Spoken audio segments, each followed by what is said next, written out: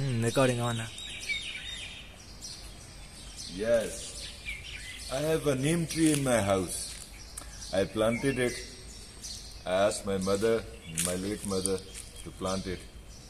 And the neem tree comes in bloom uh, for seven days in one year. And it is the third day of the bloom of the neem tree. It has a very nice and very pleasing smell, perfume that no artificial perfume can mimic. And it will only last for four more days and it will come back after one year. This is the tree my mom planted. And it has a beautiful bloom. This bloom is one of the wonders. I had a neem tree growing up in my house. It was over a hundred years old.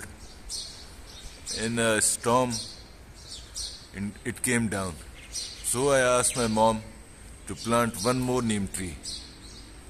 And she planted this, and now it's in bloom and it reminds me of her. I also planted some eucalyptus trees, as you can see.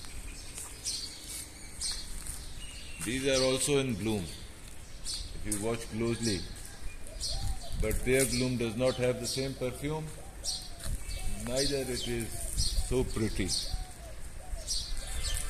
Let me show you. You might be able to see there are these small little hairy type of blooms. Here you can see more clearly. They are in the bloom.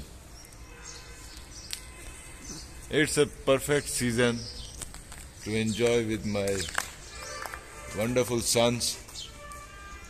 Unfortunately, due to this coronavirus situation, we don't go out so often. But even better for that because we can spend all our time together. Back to the neem tree. The time is 7 in the morning.